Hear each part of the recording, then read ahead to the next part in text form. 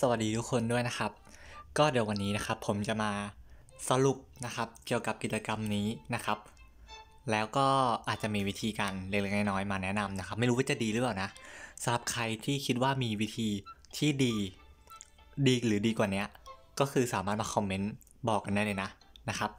อะเดี๋ยวผมจะเริ่มสรุปใหม่เลยนะ อันนี้เป็นแบบที่ผมเข้าใจทั้งหมดเลยนะครับอ่าอย่างแรกเลยนะครับ สิ่งที่จำเป็นในกิจกรรมนี้นะครับ หลักๆเลยหลักๆเลยของกิจกรรมนี้ทั้งหมดก็คือการ craft ถูกไหมอะเดี๋ยวผมเปิดให้ดูนะครับนี่คือการ craft นะครับ craft นะครับอย่างแรกคือเราจะต้องสุ่มหาตัวละครนะครับเห็นเห็นฝั่งซ้ายมือใช่ไหมจะเป็น skill ตัวละครนะครับ skill สีส้มนะครับ คือ skill สำหรับ craftอ่าพวกวัตถุดิบนะครับ วัตถุดิบก็คือเห็นไหม ไอ้รูปไอ้รูปพวกสีสีข้างบนเนี่ยนะครับ ที่เป็นตัวมีตัว M เนี่ย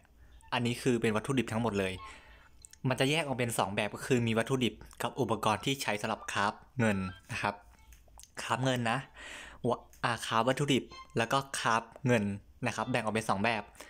แล้วก็ไปดูที่ตัวละครอีกทีหนึ่งสีส้มสกิลสีส้ม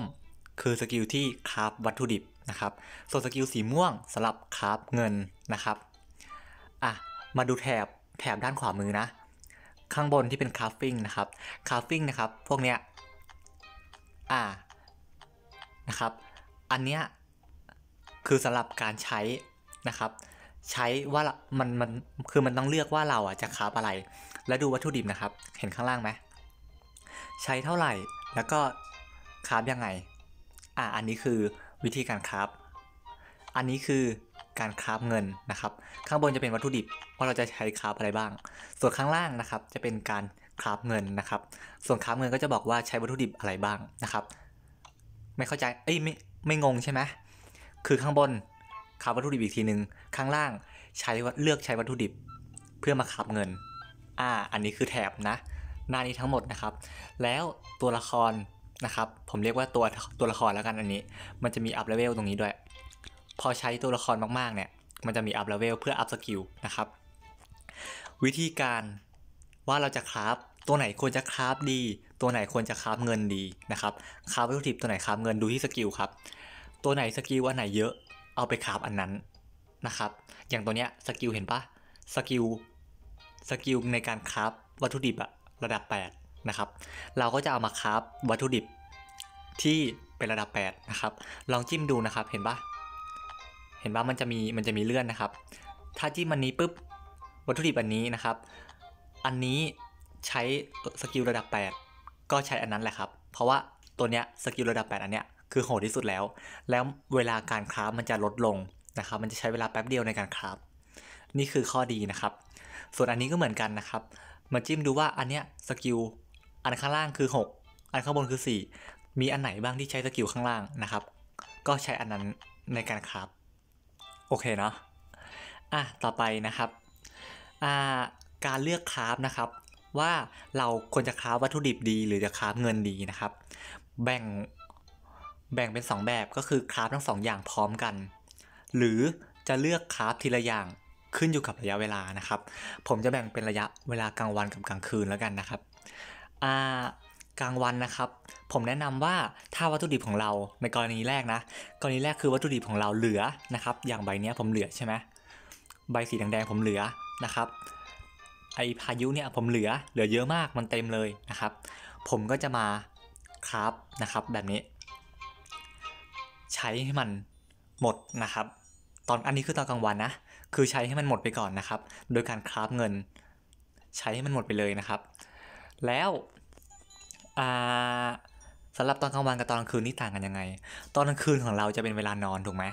ตอนกลางวันเราจะอยู่ทั้งวันถูกปะถ้าเกิดว่าใครเนี่ยที่ได้เล่นทั้งวันนะ นะครับ สามารถเปิดเข้าเปิดตอนไหนก็ได้นะครับ ผมแนะนำว่าตอนกลางวันเนี่ยพยายามเลือกค้าเป็นอ่าเลือกค้าเงินนะครับอ่าด้วยเห็นบ้านมันจะเร็ว เลือกค้าเงิน ด้วยเดี๋ยวเดี๋ยวขอเปิดแป๊บนึงนะด้วยอุปกรณ์ที่มันใช้เวลาน้อยๆไม่งงใช่ไหมสักประมาณอ่าสิบนาทีสามนาที ยี่สิบนาทีสามสิบนาทีไม่เกินนี้ อันนี้คือตอนกลางวันนะ ผมแนะนำตอนกลางวัน ถ้าหากว่าใครเนี่ยต้องทำนู่นทำนี่ด้วย ก็คลาสประมาณ 10 ตัวละ 10 นาทีถึง 30 นาที แล้วก็ปล่อยไว้ มาดูทุกๆประมาณ 2 ชั่วโมงถึง 3 ชั่วโมงนะครับ อะ อันนี้คือแนะนำนะ แต่ถ้าเกิดว่าใครเนี่ยว่างมากนะครับ คลาสไปเลยครับ ทีละ 3 นาทีถึง 10 นาทีนะครับ หาอุปกรณ์ที่คลาสประมาณ 3 นาทีถึง 10 นาทีเดี๋ยวผมเปิดให้ดูนะ อย่างตัวนี้นะครับ ตัวนี้นะครับ ผมใช้อันนี้คราฟใช่ไหมเห็นปะมันขึ้นเวลา 3 นาที 45 วินาทีดูตรงนี้นะครับ ข้างล่างตรงนี้อ่าใช้เวลา 3 นาทีถึง 45 วินาทีนะครับ ได้เหรียญทีละ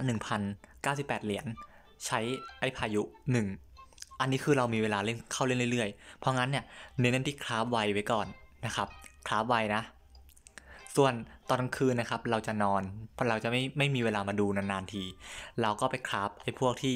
ได้เยอะๆ แต่ใช้เวลาเยอะเหมือนกัน อย่างเช่นอันเนี้ยทีละ 1 ชั่วโมง เพราะอะไรนะครับ เพราะว่า quest ของเรานะครับมีจำกัดเห็นปะ21 quest นะครับแล้วมันจะ re นะครับเพราะงั้นเนี่ยตอนกลางคืนที่เราไม่อยู่เนี่ย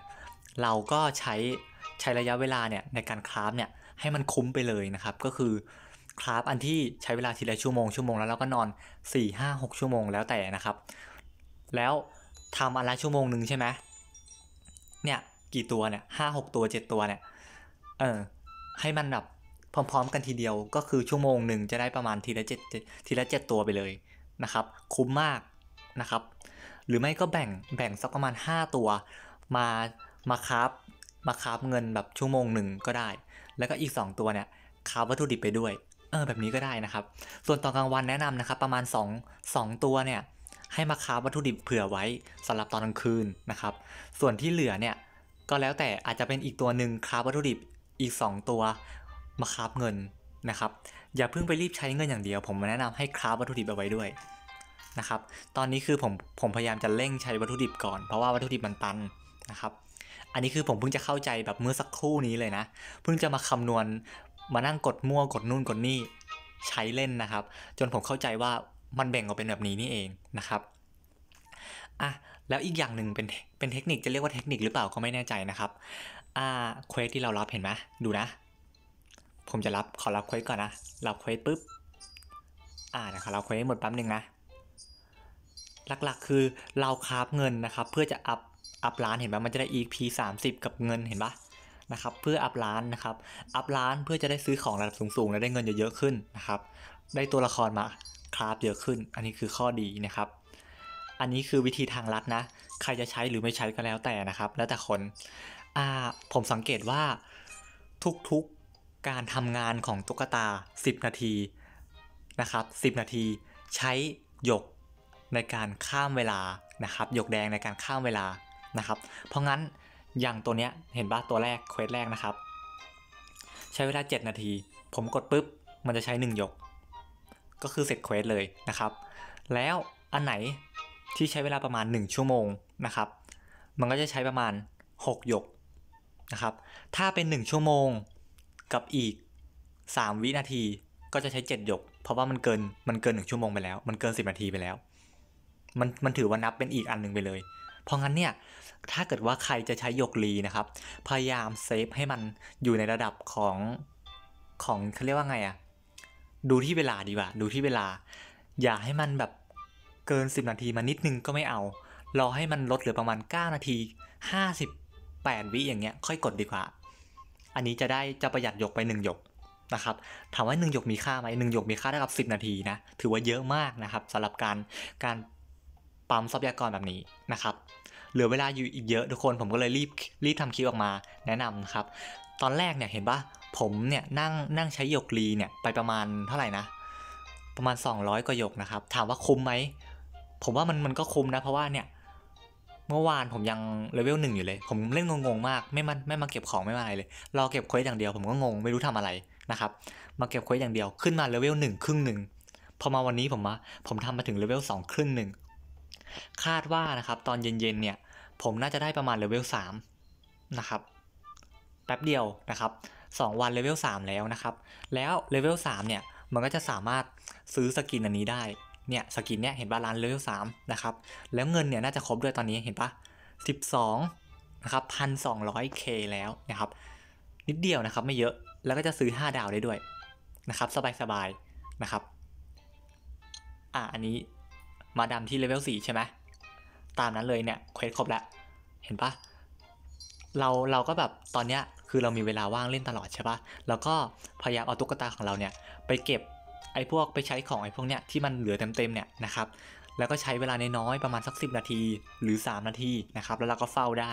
นะครับทำอะไรเรื่อยเปื่อยของเราก็ว่าไปนะครับสักประมาณชั่วโมงนึงก็มาดูทีอะไรเงี้ยสำหรับคนที่มีเวลาว่างนะครับถ้าไม่ว่างก็ไปทำไปปั๊มไอตัวที่ ใช้เวลาประมาณ 30 นาทีนะครับวัตถุดิบคือเราจำเป็นควรจะคราฟให้หมดเลยนะทุกๆอย่างนะครับคราฟทุกๆอย่างไปเลยนะครับ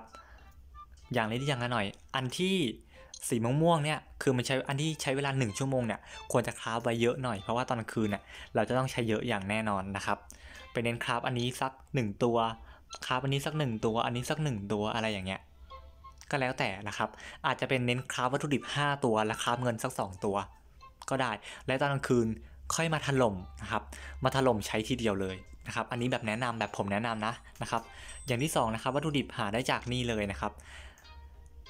ดันเจียนนะครับอ่าก็คือเราเนี่ยมาฟาร์มตรงนี้นะครับ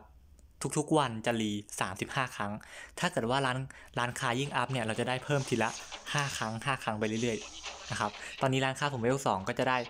จาก 30 เป็น 35 ครั้งนะครับในการตี อ่าเราดูนะ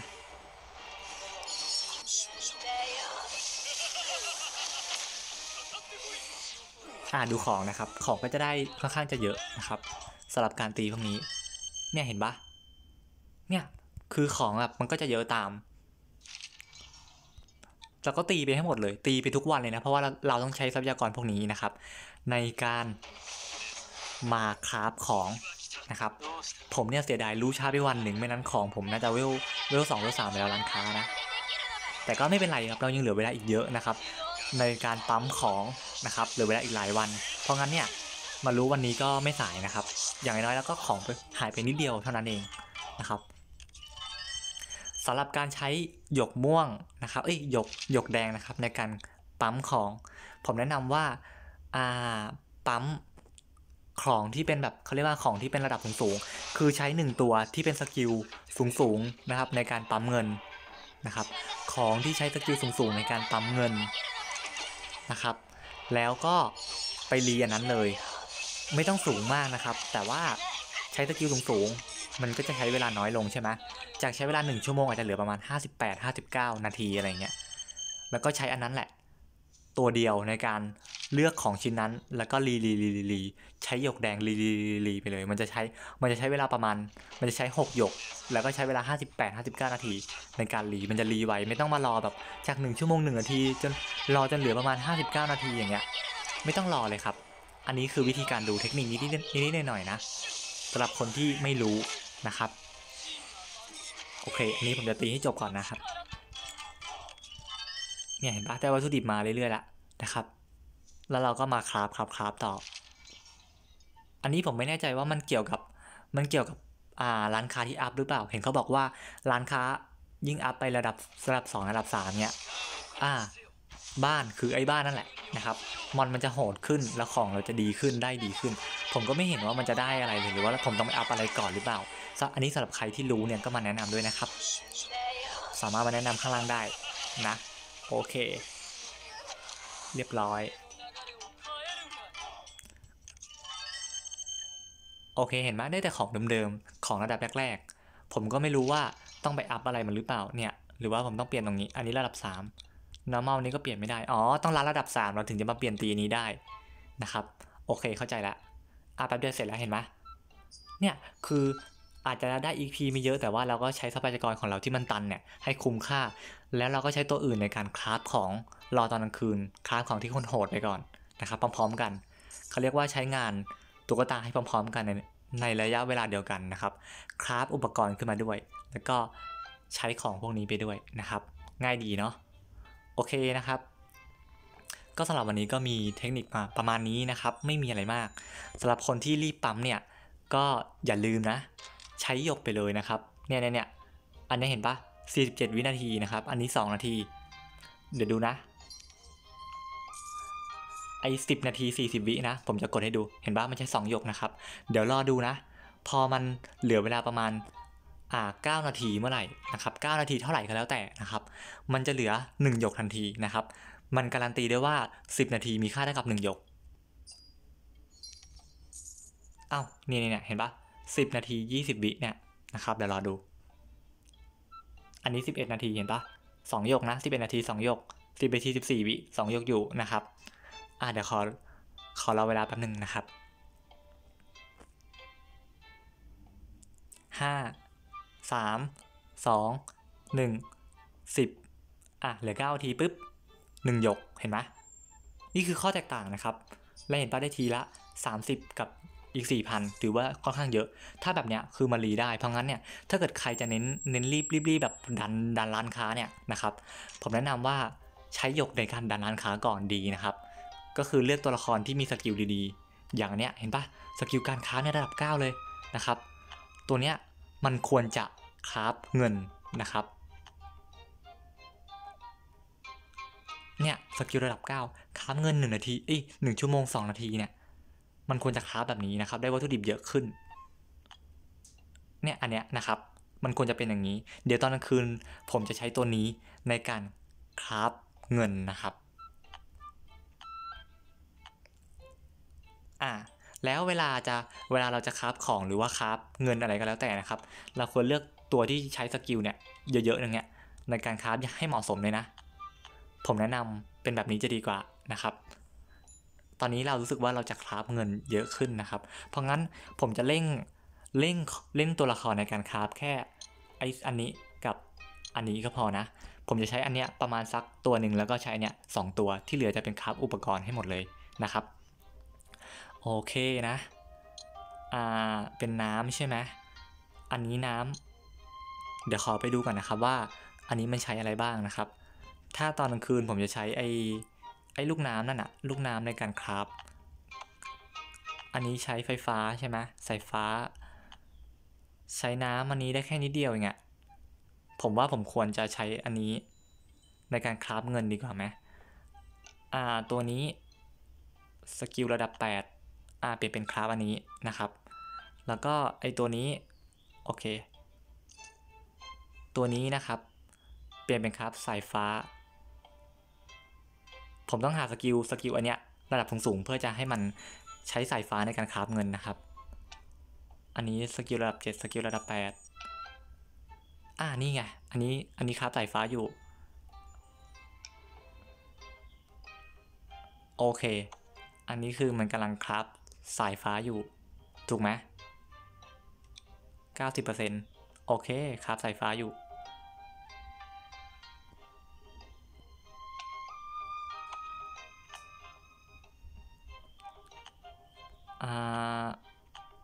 ยันอันนี้ ใช้อันนี้ในการคราฟยันแล้วยัน ยันอันนี้ได้ได้เท่าไหร่เนี่ย ยันนี้ได้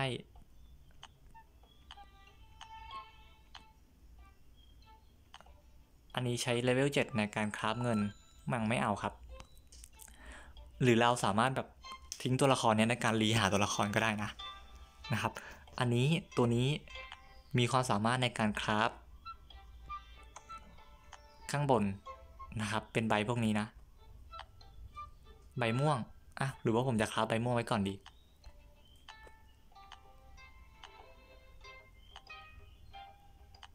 ใบแดงใบม่วง 20นาที งั้นผมจะคิดแบบนี้แล้วกันนะครับ ผมจะเน้นคราฟที่อันนี้ใช้ในตอนกลางคืน กับอันนี้ใช้ในตอนกลางคืนนะครับ แล้วส่วนตอนกลางวันจะเน้นคราฟใบแดงกับใบม่วงนะครับ ในการใช้เป็นตอนกลางวัน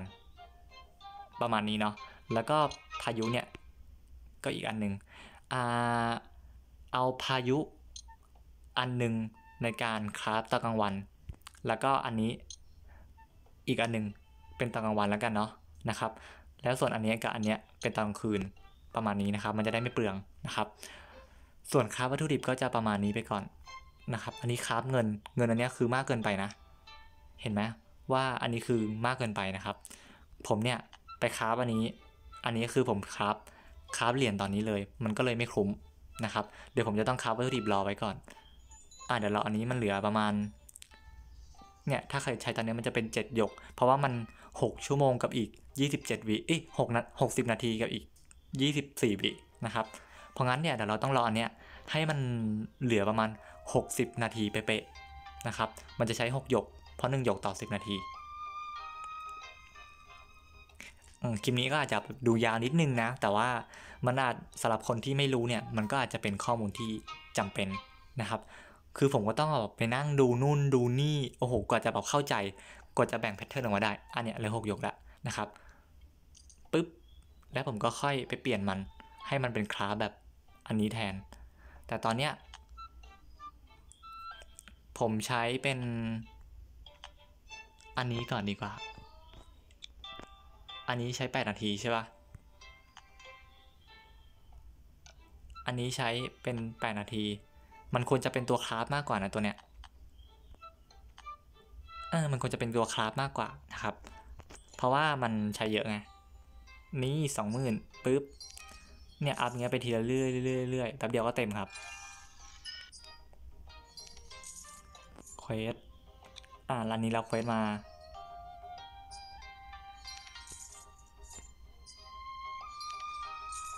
ถามว่ารอบพวกนี้จำเป็นไหมผมว่าจำเป็นนะ เพราะว่ารอบพวกนี้มันมีผลโดยการแบบเนี่ยอย่างพวก 10 นาทีเนี่ยนะครับหาสักตัวหนึ่งเห็นปะอันนี้ 11 นาทีคือเยอะไปเราต้องมารอตลอดไม่คุ้มนะครับ เพราะงั้นเนี่ยเดี๋ยวผมจะหาสักตัวหนึ่งที่ ใช้เวลาแค่ประมาณ 10 นาทีนะครับ ในการคราฟคราฟเงินนะฮะเดี๋ยวดูก่อนดูสกิลดีๆก่อนนะครับ